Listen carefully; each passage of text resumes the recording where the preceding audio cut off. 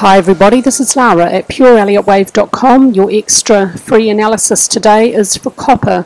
And a quick reminder, my list of extra free analysis is currently closed, so if you request an analysis from me of a, another market, uh, it will not be added to the list. I will let you know when my list is opened again. It's just too long and I need to work through it. Elliott wave analysis first, classic analysis last. At the monthly chart, I'm going to start my wave count down here in January 2016. From this low to this high, I had previously counted this as 1, 2, 3, 4, and last time I did my analysis I'd expected more downward movement for the fourth wave, but it overlapped into first wave price territory, so that wave count was invalidated. So I've moved the degree of labelling here down one degree, and I'm saying this is 1, 2, 1, 2. Now expecting 3, 4, 3, 4, 5. The target for intermediate 3 is for it to reach 1.618 the length of intermediate 1 at 7.853. That's a fairly common ratio between the third, third and first waves, so the target should have a reasonable probability. I did have another uh, monthly chart for copper, considering this could be A, B, C.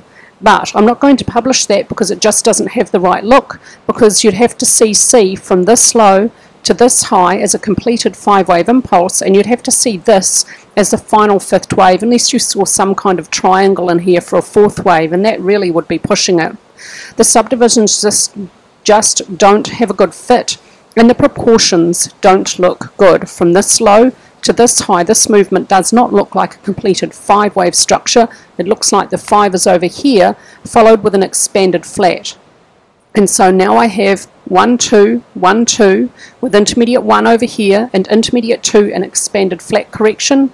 A subdivides as a 3, B subdivides as a 3 and moves beyond the start of A, and C subdivides as a 5. It's ended with this really bullish long lower wick. On the monthly chart, there's a very strong bullish hammer candlestick pattern that supports this wave count that expects this low at 3.132 is likely to be sustained.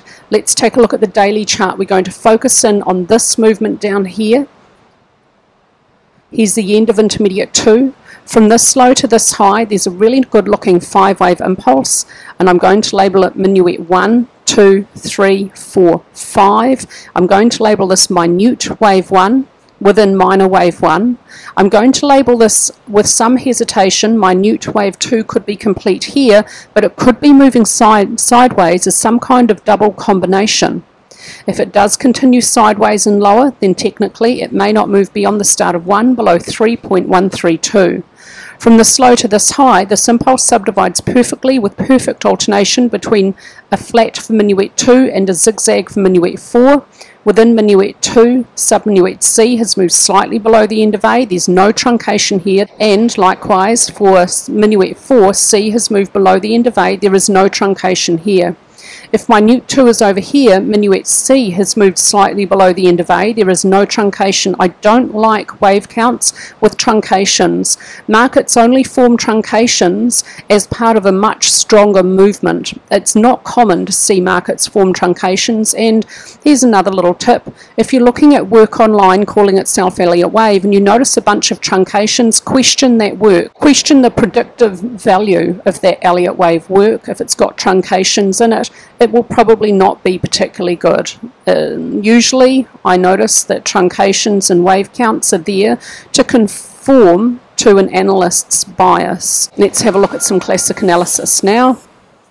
At the weekly chart level, price is bouncing up off support at 3.2. There's that really strong bullish hammer candlestick pattern on the monthly chart, but there isn't a bullish candlestick pattern on the weekly chart. That's okay. The absence of a candlestick reversal pattern here doesn't mean the trend can't reverse, and that monthly candlestick is really strong. So I'd give that one actually quite a lot of weight. Within these upward weeks that are completed, there is a little bit of push from volume. As price rises, there is some increase in volume in upward weeks, so that supports the Elliott wave count. No signal from on balance volume. This is a very weak range and it hasn't broken out of it. ADX is declining, no clear trend at the weekly chart level. At the weekly chart level, both RSI and money flow index reached oversold at the low. So even though the trend wasn't very extreme, conditions did reach reasonably oversold, and that supports the view that that low is likely to be sustained. They're both back in neutral territory now, as is stochastics. ATR showing a little decline as price moves higher. That could be common for the early stages of a new trend.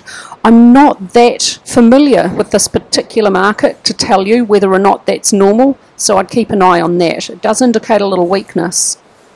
At the daily chart level, this downward trend did reach very extreme above both DX lines and above 45 for ADX. In those extreme conditions, there's single bullish divergence between price and RSI and double bullish divergence between price and money flow index. I am drawing these green lines across the lows because it's visually intuitive, but when I consider divergence, I'm considering closing prices, not the lows just so you know. So given the extreme trend, extreme oversold conditions and bullish divergence, I give weight to this morning star candlestick pattern. Now this, just to note, this isn't a perfect looking morning star because the real body of the little star is actually slightly within the real body of the first candlestick. It's not below it. So it's not the ideal looking morning star, but I'll, I'll call it a morning star with that um, hesitation. And I will say that the third candlestick in it is quite bullish, closes well above the first candlestick. Star has some push from volume. The third candlestick doesn't have so much push from volume.